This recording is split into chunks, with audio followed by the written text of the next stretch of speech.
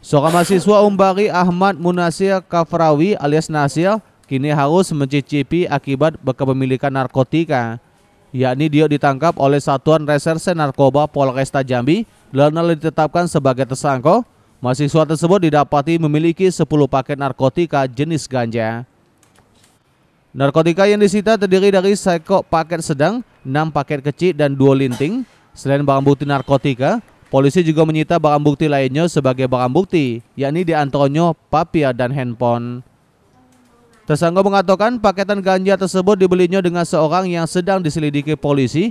Ganja dibelinya ratusan ribu rupiah untuk konsumsi pribadi.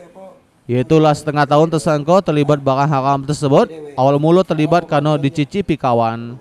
Berapa kali pakai? Berapa banyak? Berapa paket kau pakai?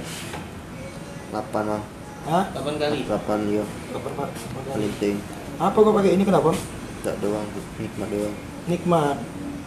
Sehari-hari kita ke Dari kuliah. mana? Kenal ganja dari mana? dari kawan ya Ditawari kawan. ya, Jadi kau ketagihan akhirnya. ya itu doang Duit dari mana duit?